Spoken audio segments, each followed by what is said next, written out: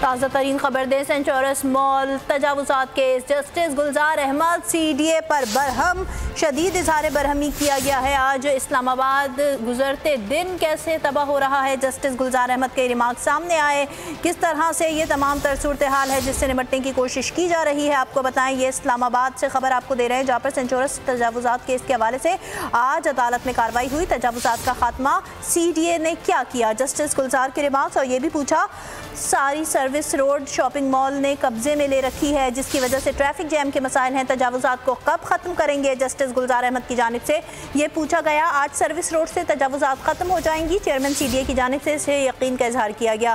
Justice گلزار نے کہا، آج کیوں یہ تجاوزات گزشتہ روز ختم کیوں نہ ہوئی؟ طیب بلوچ بول نیوز کے نمائندے ہمارے ساتھ ہیں۔ جی طیب بلوچ۔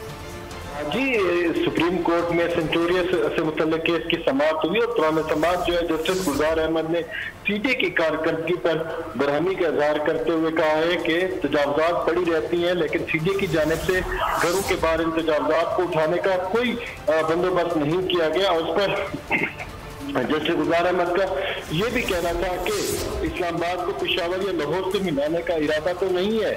سرکار کا فرمان ہے، جب شہر انتظام جب شہر کا انتظام نہ سنبھالا جائے تو کیا شہر برباد کر دے؟